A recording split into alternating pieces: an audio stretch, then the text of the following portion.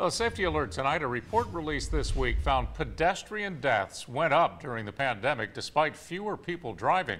Alabama ranked 11th deadliest in the nation. NBC 15's Andrea Ramey joins us now.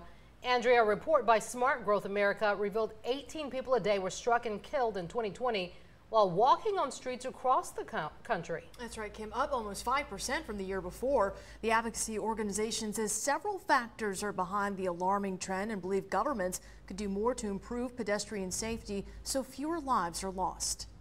Bruce Malone's love for his late wife is visible from their front yard.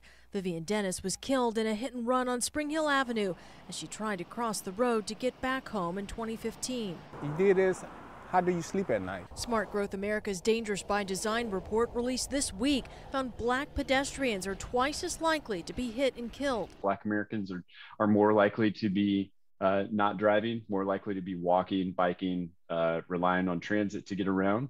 Uh, but also, if you look around at a lot of communities, the infrastructure in uh, these places sorely lacking. The report also found that Alabama had the 11th highest death rate of pedestrians in the country. 567 pedestrians were killed statewide between 2016 and 2020.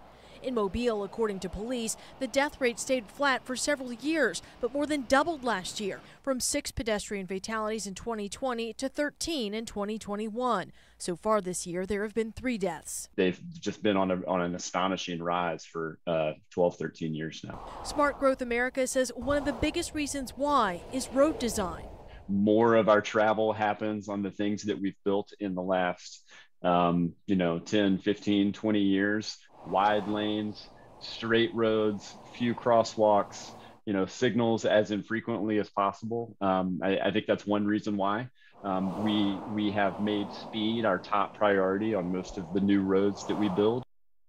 New Mexico had the highest pedestrian fatality rate, followed by Florida. We will put a link to this report, which includes examples of road design recommendations on our website, mynbc15.com.